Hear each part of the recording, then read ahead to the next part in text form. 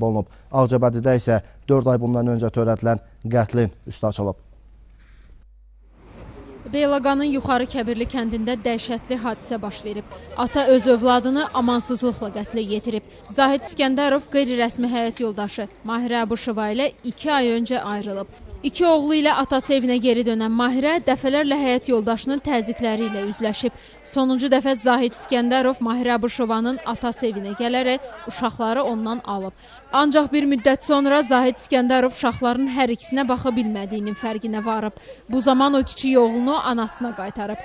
Bununla kifayətlənməyən ata bir neçə dəfə Mahirə Abuşovaya zəng edərək 6 yaşlı oğlunun başını kəsəcəyi ilə hədələyib.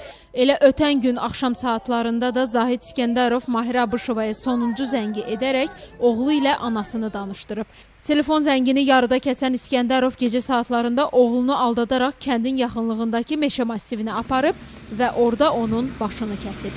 Zahid adlı Kəbirli sakini ilə ailə qurmuşdum. Bu adam da tüfeyli həyat yaşayırdı. İçirdi axşamacan. Ailə şiddəti. Sonra gəldi, ay and işim belə elə xeyir olmadı. İçirdi, ancaq içki. İçki düşkünüdür. Dedi onu anası nezilletle saklıyor. Bir gün orada bir gün burada kaçkın adamdı. Bu körpəni buradan vermirdi. Vermirdi. Dedim Mahir gitme bala gitme.